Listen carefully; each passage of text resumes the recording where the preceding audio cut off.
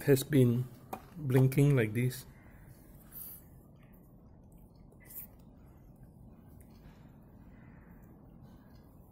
Green red green red green red green red.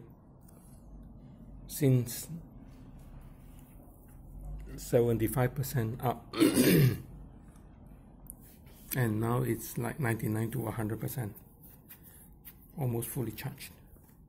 Or rather oh, already fully charged so uh, this one is a genuine uh, Segway Ninebot battery and using genuine Segway charger to genuine supposedly genuine uh, I guess. So there's a Ninebot logo there.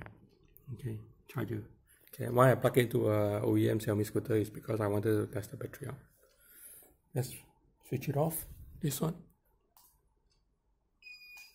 Okay let's give it another like 15 minutes to see whether this one changes or not or maybe longer. Come back soon